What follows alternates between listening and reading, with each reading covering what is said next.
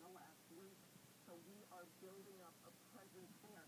It is very unclear whether this could or might lead to war. And today, Senate Minority Leader Chuck said no one should shed a tear over his death.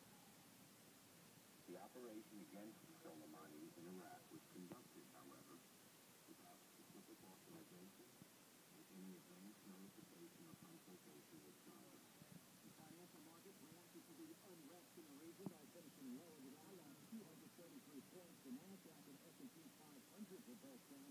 Crude oil